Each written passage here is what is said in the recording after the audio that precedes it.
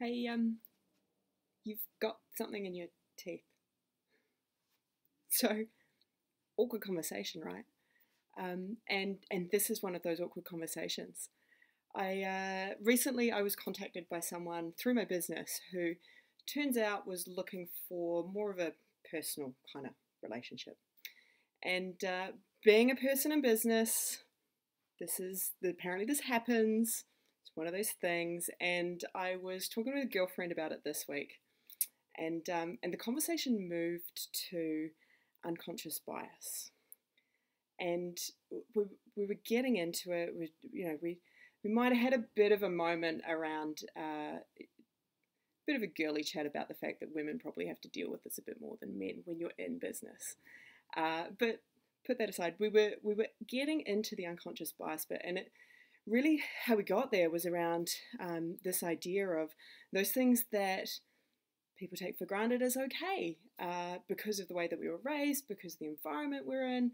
Um, you know, we also talked about the fact that sometimes these things happen with the best of intentions, and uh, and really that unconscious bias is one of those things that's really hard to get into because, particularly when it's done in a way where people have the best intentions, they're looking for a good outcome for um, themselves, people around them, um, it can be really awkward.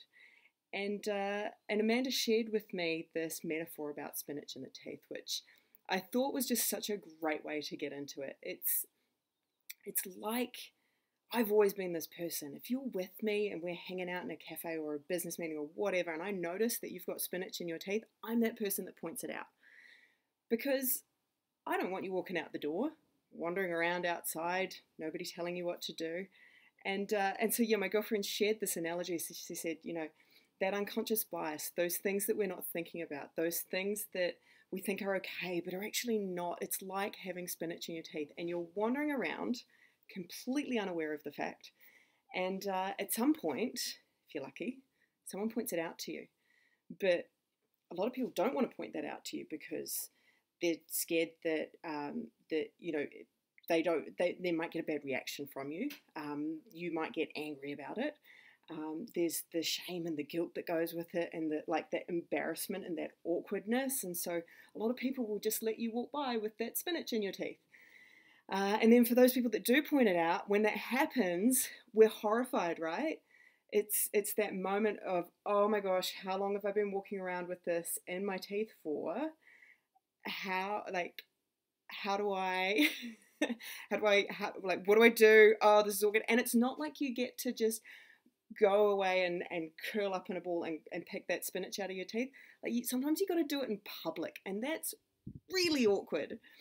Um, and so, and I love this analogy of spinach in the teeth because, you know, I think sometimes when we're talking about those unconscious biases around um, the way that we interact with people, um, whether it be in an office environment, in a personal environment, um, you know, I, at a competition a week ago, and uh, and the the judges, as we were coming up to to start our competition, the judges with the best intentions called out, "This is Glenorchy A team. Oh, it's the women's team. Let's give them a clap."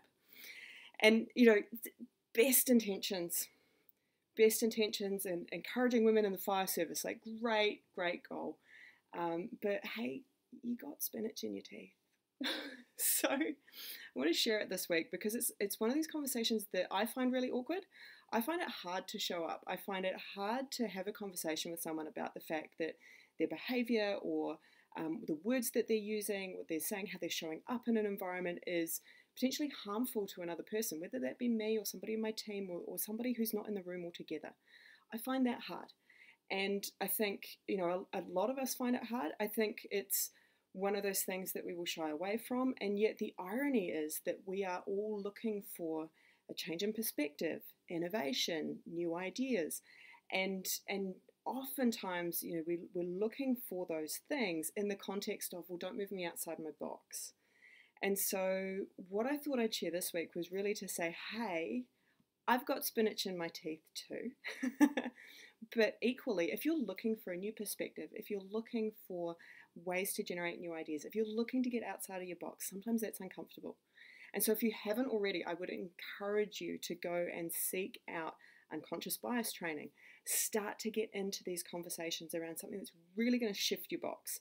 This, I, I fully, fully aware that you know you go into one of these trainings and and your world is going to shift and it's going to be uncomfortable. You know, as I said, it's often with the best intentions that we uh, act or say things um, or do things in the way that we do. Uh, and this is really about getting okay with the fact that A, we might not have all the answers, B, we might be doing stuff that, with the best intentions or completely unconsciously, has an impact on another person that is harmful or detrimental, and that actually it's our responsibility to fix that. And it's also about building your support network of those people around you who you know will call it out and say, hey, you've got spinach in your teeth today. Might need to go and have a look at that. So, uh, yeah, wherever you are in the world today, I hope you're having an awesome, awesome day. Get out there and go and get into the unconscious bias stuff. It'll shift your perspective. It'll help you come up with a new frame and a new way of looking at the world that's going to lead to more innovation. It's going to lead to better ideas.